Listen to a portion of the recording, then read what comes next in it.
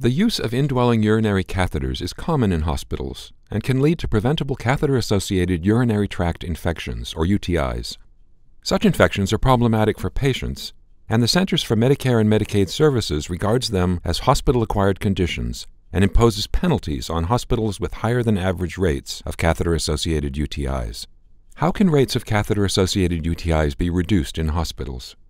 Investigators implemented a multifaceted intervention in 926 ICUs and non intensive care units in 603 hospitals in 32 states, Puerto Rico, and Washington, D.C.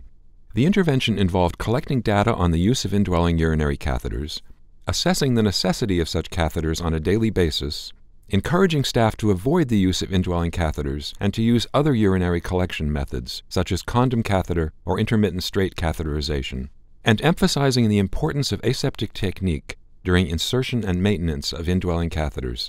The intervention also included regular reports to hospital staff on catheter associated UTIs and the identification of knowledge gaps on the appropriate use of indwelling catheters.